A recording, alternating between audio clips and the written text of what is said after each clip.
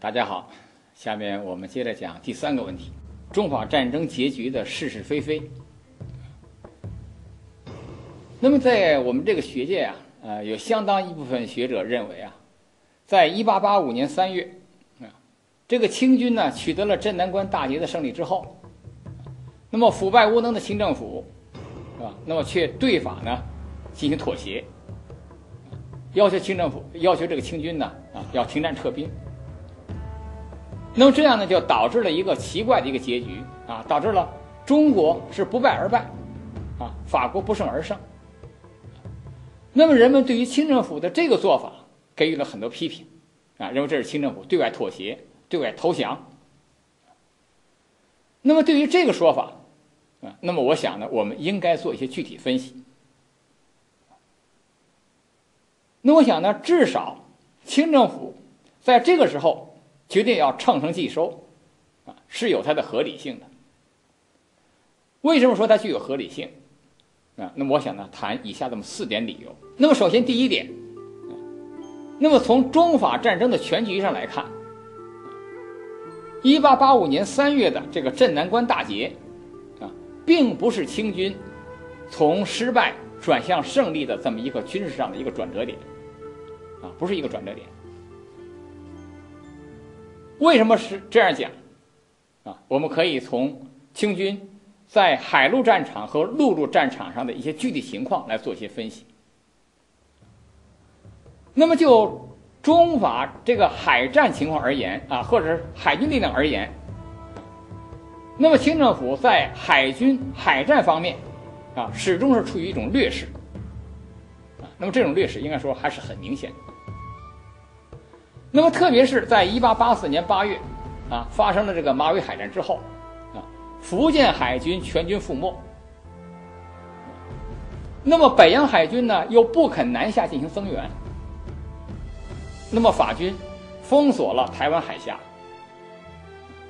所以说，在这个时候啊，法国人法军已经完全取得了啊这个制海权啊。那么在海战方面，清军呢是处于一种明显的劣势。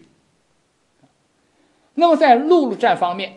啊，陆战方面，那么清军虽然取得了所谓的镇南关大捷，啊，那么但是法军的这个精锐部队损失的并不很严重，啊，损失不大。那么清军之所以能够取得镇南关啊这个战役的胜利，它在很大程度上呢是依赖于一些有利于清军的一些条件，什么条件呢？啊，清军。占据着有利的啊这种地形，是吧？清军的数量啊比较大啊，多于这个法军啊。那么法军呢是孤军深入啊，就是清军取得镇南关战役的胜利啊，它是在某种特殊的历史条件之下取得的。那么也就是说，一旦清军啊脱离开这样一个具体的历史条件。啊，你比如说，清军深入到啊法军经营了多年的这个越南境内，还能不能够取得这种战争的胜利？那我想这个事情啊，确确实实很难说有什么把握，啊，更难说清军具有啊深入到越南境内啊进行全面反反击，彻底把法军赶出越南啊，更难说他有具有这种军事实力。那么因此呢，从海战和陆战方面看，啊，镇南关大捷的胜利，并不反映清军这个时候已经啊具备了反败为胜，是吧？彻底战胜法国人的啊这么，并不是这么一个转折点，啊，这是第一点。那么第二点，从当时的国内外形势方面来看，啊，这个时候的清政府面临着法国、俄国、日本。从南北两个方面联合侵扰的危险。那么关于这个问题啊，我想把当时的一些具体历史事实啊啊，那么跟大家做一个交流。那么在中法战争期间，西方的资本主义列强就不断的向清政府施加各种压力，啊，政治上的、外交上的压力，是吧？就希望清政府尽早的对法妥协。那么这是清政府面临着列强的一些压力。那么与此同时，啊，这个时候法国侵略中国于南方，啊，在中国的南方对中国进行侵略，而这个时候的日本和俄国，啊，则在中国的北方啊蠢蠢欲动，啊，也就是说这个时候清政府面临着一种非常危急的啊这种国际形势。我们都知道，啊，俄国曾经利用中国内乱的这么一个时机，占领了伊犁地区，啊，那么后来清政府派兵啊去这个驱逐阿库白水帮，啊，那么后来呢收回了伊犁，那么说俄国企图侵侵占伊犁的这种阴谋，啊，遭到失败之后，时时刻刻都在伺机报复。因此，这个俄国就极力支持法国对中国发动战争。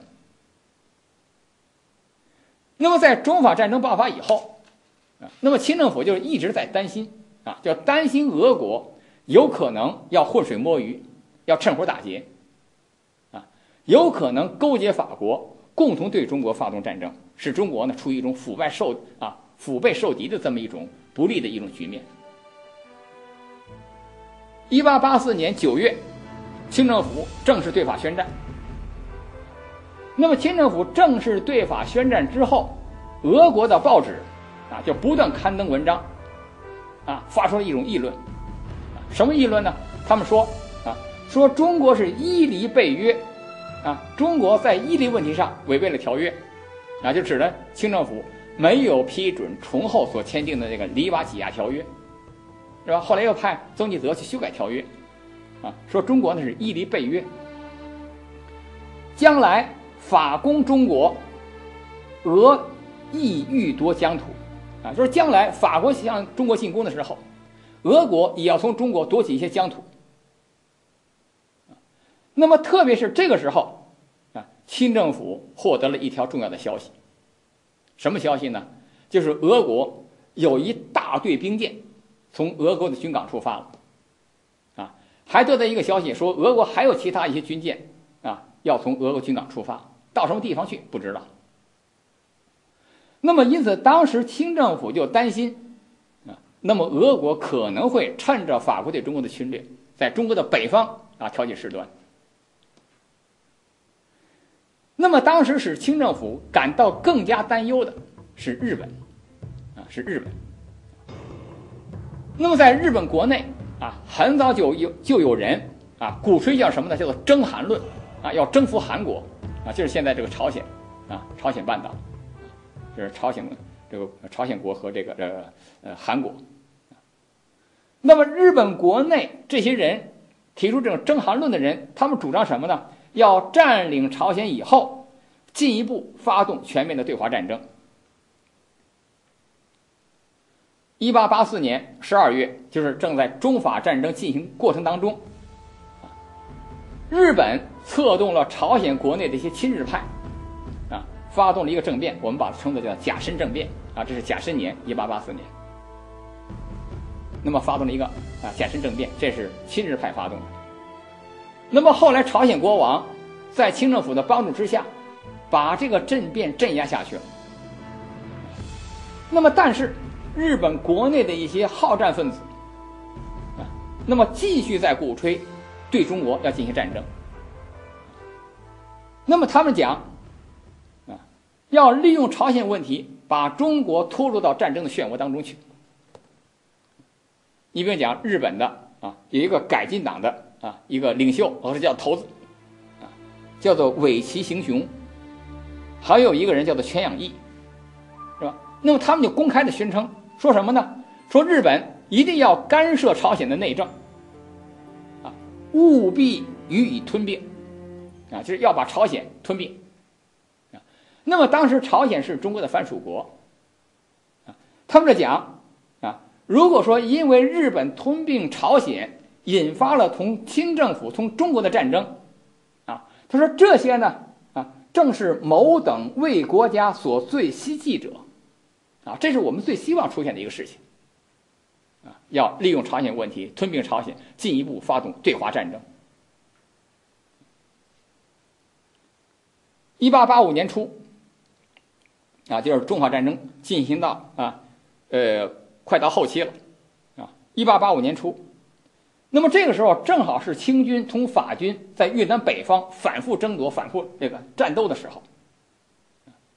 那么日本的一个使华代表叫做伊藤博文，啊，就是后来李鸿章去日本，同日本签订《马关条约》的时候的啊，那个伊藤博文啊，日本的这个首相。啊，当时他是一个来华的一个代表，伊藤博文。伊藤博文在一八八五年初来中国，啊，同李鸿章呢去谈判，啊，就是甲申政变的一个善后事宜。啊，甲申政变之后怎么办呢？啊，有个善后。那么伊藤博文到了上海之后，啊，就同在上海的法国驻华公使巴德诺，啊，两个人就频繁的进行接触，啊，若明若暗。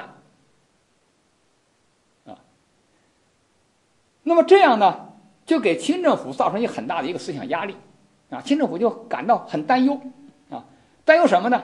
他们说啊，日人啊，日本人啊，居心叵测，现又起信端，难保不因中法有事，伺机寻衅。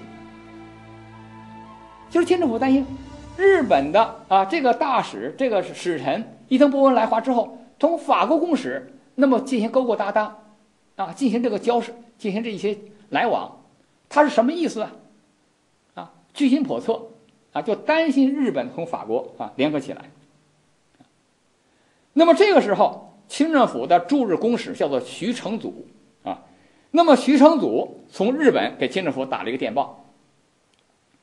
那么在这个电报当中，徐承祖啊就讲说，这个时候日本天皇到了福冈县的广广岛和熊平。到这地方去阅兵去了，啊，就是日本国内啊啊这个战争形势啊，气氛非常浓烈，天皇去阅兵，啊，而且讲日本国内的啊海陆两军及各处制造军火厂甚为忙乱，啊，海陆两军非常忙，调兵遣将，啊，这个呃这个兵工厂是吧？那么制造这个武器啊也非常忙，啊，日夜开工。那么这种情况就使得清政府，啊，他就不得不担心，是吧？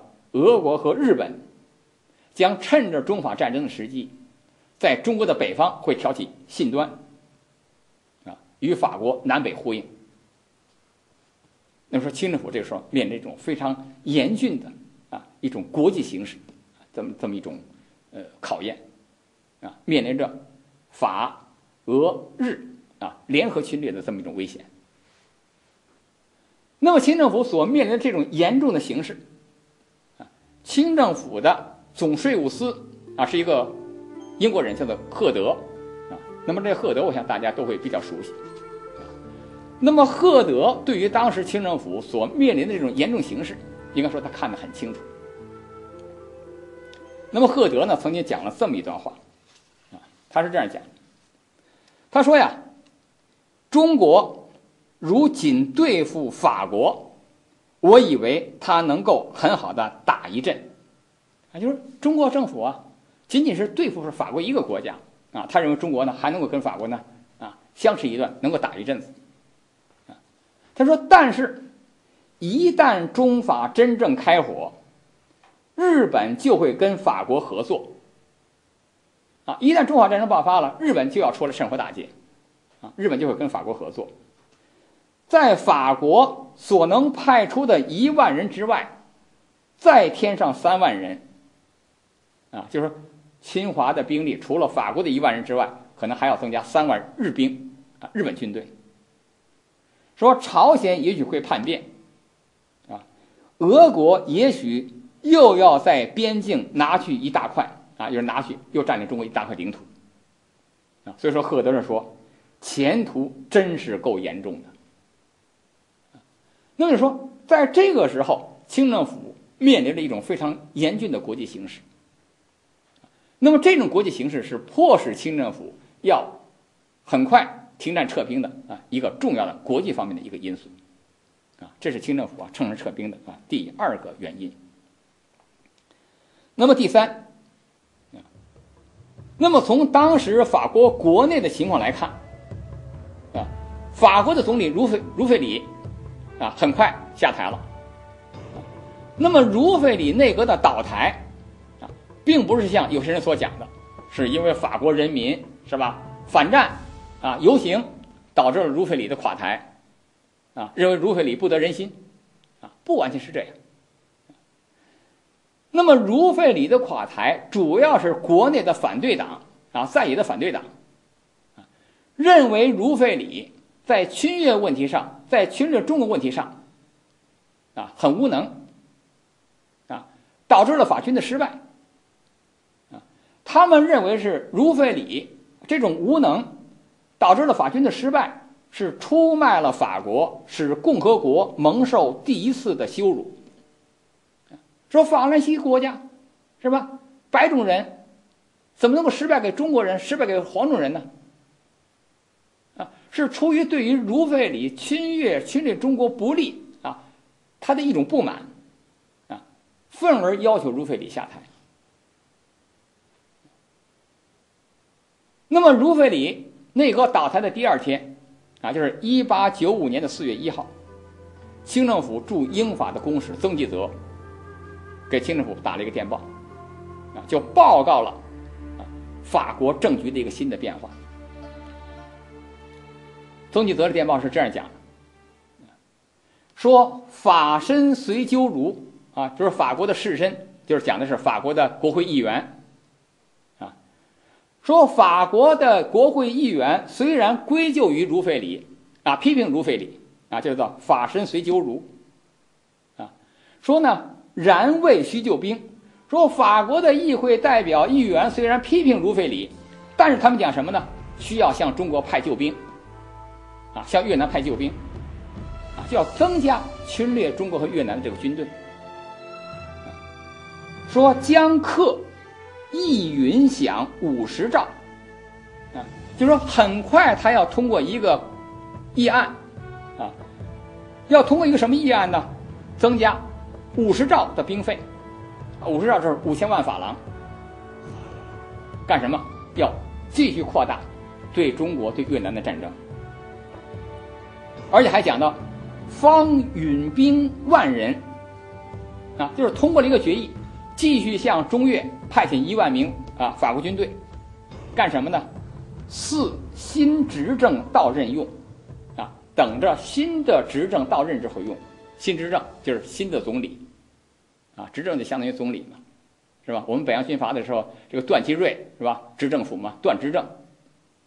啊，那么这个曾纪泽是讲什么意思呢？说虽然法国国会的很多人对茹费里不满，但是这些人提出来要继续扩大对华战争，是吧？增加这个法国的远征军，啊，那么通过了五千万法郎的这个远征的费用。那么，正是考虑到这么一种形势，曾纪泽那么就建议清政府要乘胜继收。曾纪泽在电报当中他又讲了这么一段话，说亮山客如相阁，啊，亮山攻克了，就是清军攻占了亮山，如相阁，如费里内阁下台了。说克下若能和中国集体面，啊，说眼下。啊，中国趁着战胜的情况之下，那么同法国进行议和，这个对于中国来讲是很体面的，啊，因为以前呢是战败求和，现在我们打了胜仗了，啊，同法国议和，那么中国是很体面的，有面子。说在这么的情况之下，随稍让一级核算，啊，就是中国做一些让步，啊，那么也是很合算的，啊，后边再讲，四一乘法新执政。出生时速办，啊，四四一乘法新执政，出生时速办，是讲的什么呢？就是讲到对法议和要把握一个时机，要趁着法国的新总理刚上台的时候，啊，赶快把这个事情办理好。啊，如果说不赶快议和的话，新执政上了台，法国的新总理上了台之后，啊，那么会继续扩大对中国和越南的这种侵略战争。那么正是在这么一种情况之下，啊，李鸿章也多次给总理衙门打电报，说亮山已复啊，亮山已经收复了。若此时平均议和啊，说这个时候静下心来同法国进行议和，和款可无大损啊？就是中法之间条约签的一些条款，对于中国来讲损失不会太大啊，可无大损。他说呢，当借亮山一胜之威，与替合约。则法人必不再妄求。趁着中国取得了镇南关和亮山战役的胜利，啊，那么同法国进行议和，那么这样法国就不会再提出更多无理的要求。那么这是在这么一种情况之下，曾纪泽、李鸿章都提出来要乘胜啊继收，乘胜议和。那么应该说啊，在当时主张要乘胜继收，是吧？要停战撤兵的人，啊，可以说是大有人在，啊，并不仅仅是像人们所批评的，只有李鸿章是这样。那么当时出使德国的大臣叫做徐景成，那么徐景成也给清政府打电报，他也讲了一个同样的一个意思，说亮山战胜，可趁机议和，啊，趁着这么一个胜利这么一个机会，同法国进行议和。否则，不议和怎么办呢？否则，战祸无已啊，战祸就会继续进行下去。那么他们担心的一个什么问题呢？就是这个时候的清朝统治者，如果不乘胜继收，法国的新任总理上台之后，啊，就极有可能再次扩大对华战争。那么到了那个时候，大量的法国远征军派到朝鲜，啊，派到了越南，啊，派到了中越边境。那么中国还有有没有一种必胜的把握？啊，有没有能够把握最后战胜这个法国人？那么他们表示担忧。那么这种担忧，我们如果真的客观的去看一看中法之间的这种形势，啊，那么这种担忧不是杞人杞人杞人忧天，是吧？那么它是有它的一些合理性的，有它的道理的。那么这是当时为什么清政府的？那部分的内部一部分人主张对法议和的第三个理由。那么清政府啊主张呢要乘胜继收，停战撤兵。那么他的第四个理由啊，就是清政府认为啊，越南只不过是中国的一个藩属国，啊，它并不属于中国的本土，啊，不隶属于中国的版图。而这个时候，作为中国。疆土一部分的台湾，是吧？那么受到了法军的这种层层的封锁和包围，那么台湾的形势很危急。那么，一八八五年三月三十一号，法军攻占了澎湖，形势更加危急。那么，台湾的这个刘铭传就曾经给清政府打电报，啊，就讲什么呢？说如果一个月之后，因为法军封锁了台湾海峡。说，如果一个月以后没有大批的军饷运到，形势很危急。那么清政府他在考虑越南和台湾两者都很难同时保住的情况之下，啊，他要权衡一下利弊得失。那么最后清政府决定，是吧？要舍越南而保台湾，啊，他就是这么一个方针。也就是说。以从越以以这个从越南停战撤兵，来换取法军从台湾撤兵，那么就这一点而言，啊，那我认为清政府的这种选择啊，也是一种正确的战略选择，啊，如果说当然它既能够保住朝鲜，呃，既能够保住台湾，又能够保住越南，啊，那当然是另外一种选择。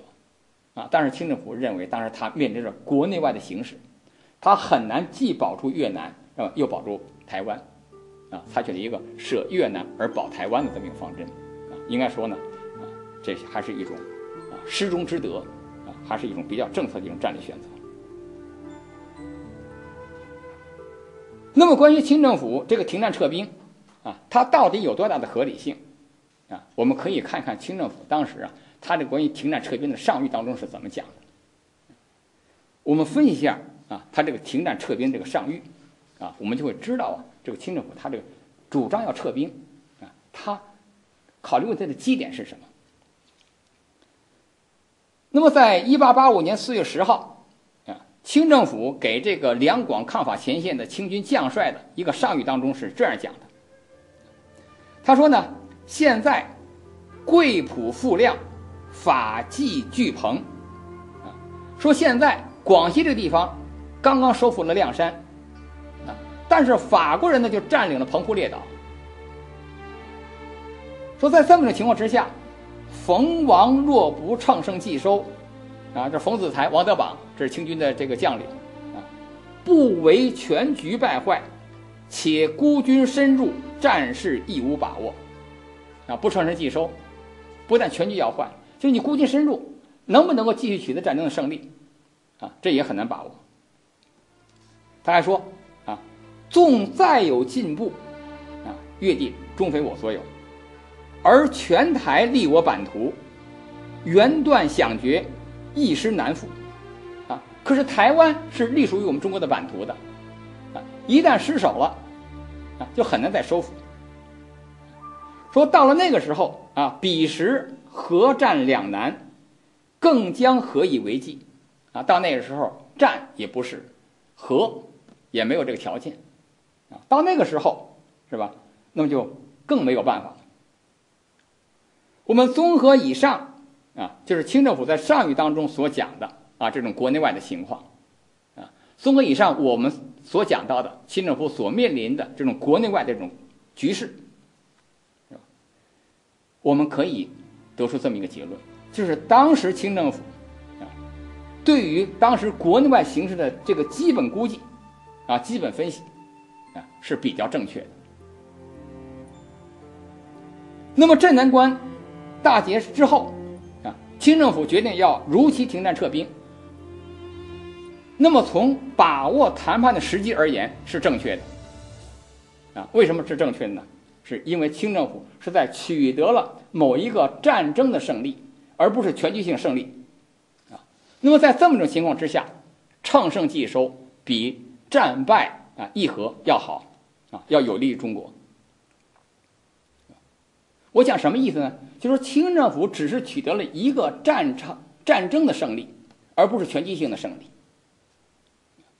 那么在这么一种情况之下，啊，那么要乘胜继收，对法议和，那么对中国来讲是有利的。为什么这样讲？啊，那么我在这儿再讲一下李鸿章的一个思想。那么在这个一八八四年初，啊，这个法军呢，在这个越南呢，这个不断的进攻，啊，这个清军的不断失败。那么这个时候，清政府内部有些人呢，主张要对法议和，可是在这个时候。被人们称作叫做主和派的李鸿章，他讲了一个说法，他给清政府上奏折讲什么呢？他说呢，谋划之始断不可轻于言战，战争没有爆发，谋划之始不能够轻易讲战争。接着他又讲，挫败之后不宜于言和，说中国在失败之后是在某一次战役失败之后，而不是全局性的失败之后。啊不适合同外国进行议和，啊，为什么？啊，他知道清政府在战败的情况之下同外国进行议和，啊，中国的损失必多，会损失很多利益。所以李鸿章在那个时候，在清政府取得了啊，不是那个是清政府在遭受了某一次战斗失失败啊，或者战役失败之后，是反对对法议和的。所以说，清政府在镇南关战役胜利之后，是吧？他取得的是某一次战争的胜利、战役的胜利，而不是全局性的啊战略性的胜利。在这种情况之下，他主张对法议和，那么应该说啊，那么他是有他的道理的。那么因此，我认为啊，镇南关大捷胜利之后，清政府的如期停战撤兵也好，啊，乘胜继收也罢。啊都没有原则性的错误，啊，没有原则性的错误。那么他的错在什么地方啊？我认为他错就错在清政府内部的一些官员，没有充分利用镇南关大捷所取得的胜利这么一个大好的形势，没有利用法国茹菲里内阁下台这么一个大好的形势，啊，对中法战对于中法条约啊，它的一些条款进行更有利于中国方面的一些修改。